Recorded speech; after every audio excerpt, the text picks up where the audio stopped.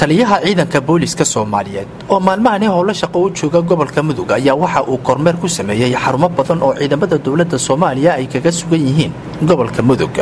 sarayagaas bashiir cabdi maxamed americo ayaa indhaindhayn iyo qiimeyn ku sameeyey ciidamada iyo marxaladaha kala duwan ay xilligani ku shaqaynayaan goobaha ay ku yaalaan talisyada uu booqday taliya bashiir waxaa ka mid ah degmooyinka iyo deegaanada xeraale balambale caabudwaaq iyo godi labe.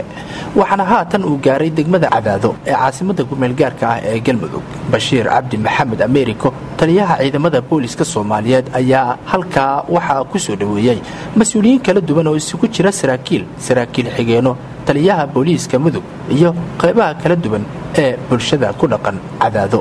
iyadoo sidoo kalena taliyaha safarkiisu ay ku weyniyaan mas'uuliyiin kala duwan oo uu ka mid yahay axmed maxamed cali oo ah taliyaha ciidamada garoonka aadan cabdulle cismaan aadan cadde ee magaalada muqdisho. Taliyaha ciidanka booliska soomaaliyeed ayaa waxa uu dhagax dhigay. Xarunta booliiska degmada cadaado oo si toos ah ciidamada dowladda ay ugu shaqayn doonaan. Ugu dambeyn sareeyagaas bashiir cabdi maxamed americo taliyaha ciidanka booliska soomaaliyeed ayaa ballan qaaday in la sii labalaabi doono tayeenta ciidamada booliska soomaaliyeed qaybta muduga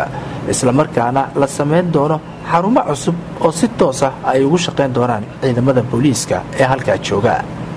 Isku soo wada xooraami kormeerka taliya bashiir ayaa imanaya xilli ay booliiska soomaaliyeed dadaal dheer ay ugu jiraan sidii ay u dhowri lahaayeen sharafta booliiska islamarkaana ay si cadaalad ahi ugu shaqayn lahaayeen bulshaweynta soomaaliyeed.